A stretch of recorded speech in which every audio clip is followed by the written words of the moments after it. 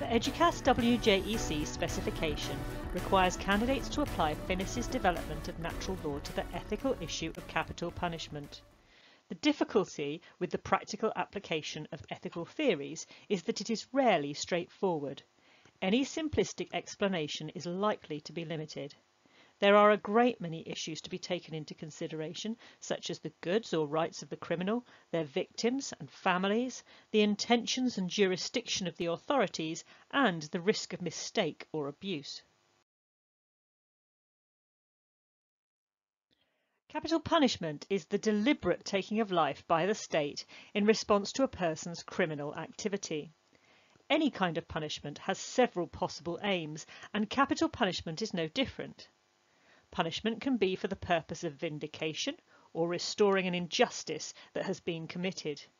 It can be to deter people from committing a crime through fear of punishment or a sense of duty to obey a law. It can be to reform or rehabilitate a criminal by requiring them to change their ways through the administration of the punishment. And it can be to defend the common good of society against crime. In most societies that still uphold a system of capital punishment, this is reserved for the very gravest crimes, such as murder, treason, or other crimes against humanity. Requirement of practical reason is the requirement of favouring and fostering the common good of one's communities. The common good is the ability for all within the community to participate in any or all of the goods. This requires a great deal of coordination by an authority who must manage the individual life plans of everyone, preventing conflict and allowing people the freedom to pursue their life plans. It makes sense that when a recalcitrant member of society fails to adhere to the laws that coordinate the whole, there needs to be a system to restore the common good.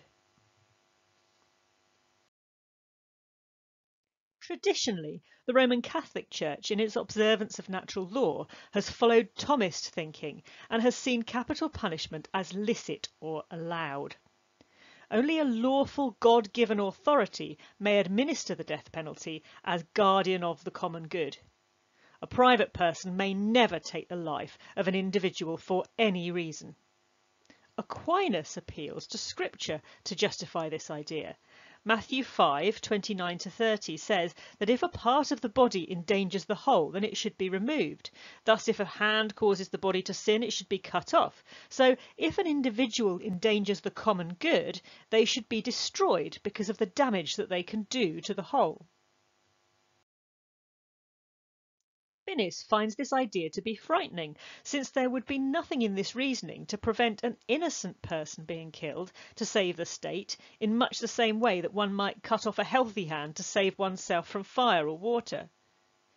E. C. Brugger, a student of Finnis and a prominent natural law writer, points out that the common good cannot be compared to the body, as Aquinas has suggested.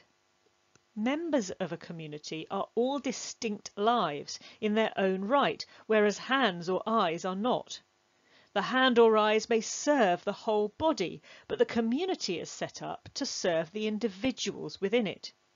For the political community, the unity between individuals and the community is about order, not composition.